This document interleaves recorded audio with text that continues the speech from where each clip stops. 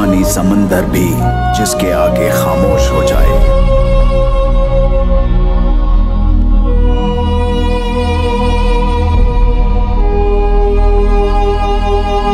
हर सरताज जिसके आगे सर झुकाए।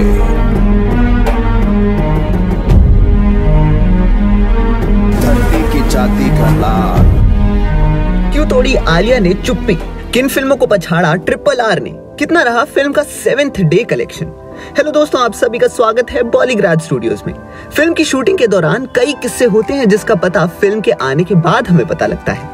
ऐसा ही कुछ एक किस्सा इन दिनों सोशल मीडिया पर बहुत देखने को मिल रहा है फ़िल्म ट्रिपल आर को लेकर। फ़िल्म बॉक्स ऑफ़िस पर धमाल कर रही है। हर भाषा में फ़िल्म को बहुत प्यार मिल रहा है। सब फ़िल्म को बहुत एंजॉय कर रहे हैं, पर इसके बीच एक अफवाह हमें सोशल मीडिया पर देखने को मिली।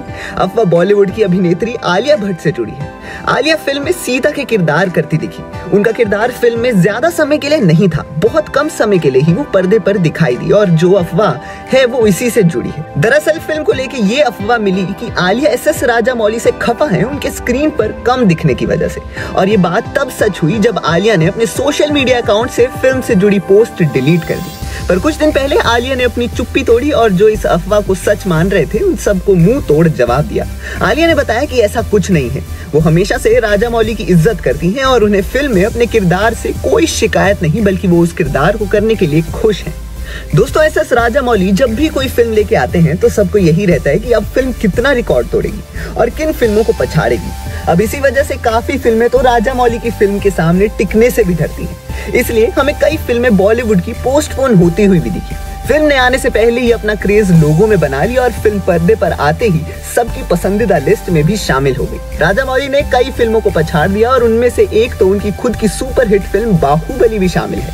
फ़िल्म ने बॉलीवुड की सूर्यवंशी से लेकर टॉलीवुड की पुष्पा जिसका क्रेज सबसे ज़्यादा दिखाई दे रहा था, उनको भी पछाड़ दिया और फ़िल्म बन गई साल की सबसे कमाई करने वाली फ़िल्म। ट्रिपल आर का मतलब अब लोगों को समझ आ चुका होगा। फ़िल्म का मतलब है रुपया रुपया रुपया।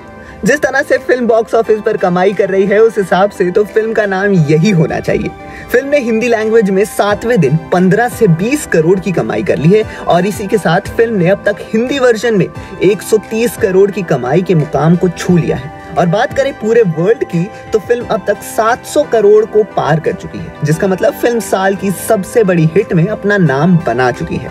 फ़िल्म का क्रेज फ़िल्म की रिलीज़ से पहले ही लोगों में दिखाई दे रहा है। बाहुबली के बाद राजा मौली की फ़िल्म को लेके लोग काफ़ी एक्साइटेड नज़र आ रहे थे। ऐसे में जब ट्रिपल आर की बात सामने आई तो उसका क्या रिज़ल्ट होगा, ये सबको मालूम ही था। और जैसा कि लोगों ने सोचा रिज़ल्ट वही नज़र आ रहा है। जब इतनी बड़ी और जानी मानी स्टार कास्ट आए और फ़िल्म हो राजा मौली की तो फ़िल्म से यही उम्मीद होगी। आपको क्या लगता है, क्या फ़िल्म सारे रिकॉर्ड्स तोड़ पाएगी पूरी दुनिया में? अपनी राय ज़रूर बताएँ कमेंट बॉक्स में और देखते रहिए हमारा चैनल बॉलीग्राज स्टूडियोज